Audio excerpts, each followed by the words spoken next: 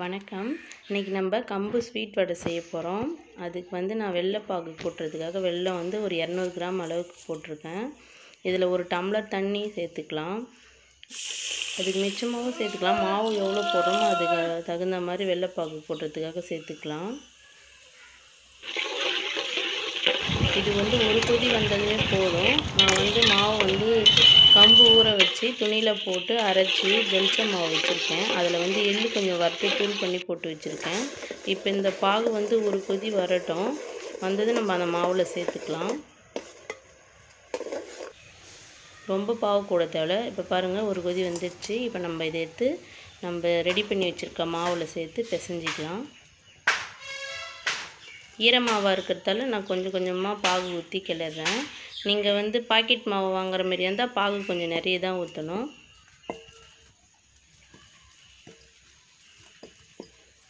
எள் பவுட்ரு பண்ணி போட்டால் நல்லா வாசனையாக இருக்கும். அதனால தான் நான் எள் வந்து நல்லா வறுத்துட்டு அதை பவுட்ரு பண்ணி போட்டிருக்கேன்.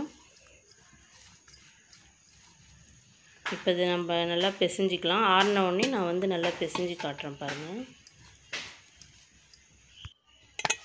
இந்த பதத்துக்கு பிசைஞ்சிக்கலாம். இப்போ இது வந்து நான் சின்ன சின்னதாக உருண்டைகளை உருட்டி வாழை தட்டி வச்சுருக்கேன். இதை வந்து நம்ம எண்ணெயிலையும் போட்டு எடுக்கலாம். ஆனால் வந்து நம்ம தோசைக்கல்லில் போட்டோம்னா நல்லா வாசனையாக நல்லாயிருக்கும்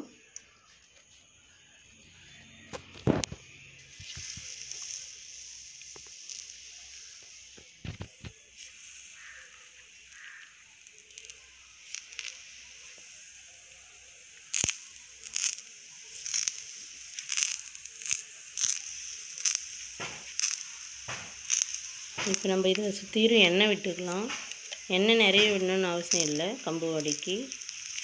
ஒரு ஒரு ஸ்பூன் இல்லை ஒரு ஒன்றரை ஸ்பூன் விட்டாவே போதும்.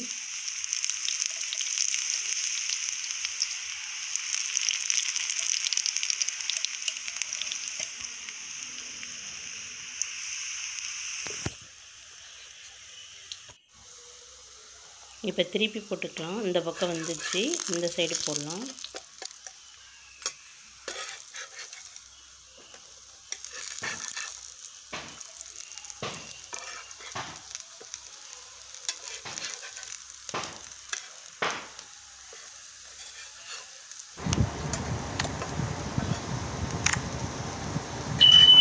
அம்பு வடை வந்து வெந்துடுச்சு.